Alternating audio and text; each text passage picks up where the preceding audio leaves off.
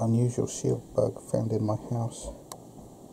It's bigger than any shield bug I've had before. It's about two inches long and probably just under a centimetre wide its body. Look at that pattern on it.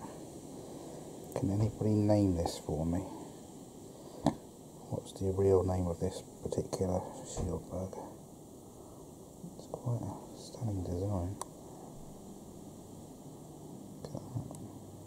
It can fly, obviously. It's uh, it just right.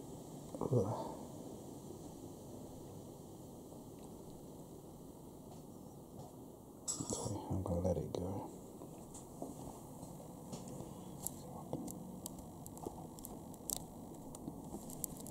Just, just kind of oh, glimpse of orange under its wings. Then.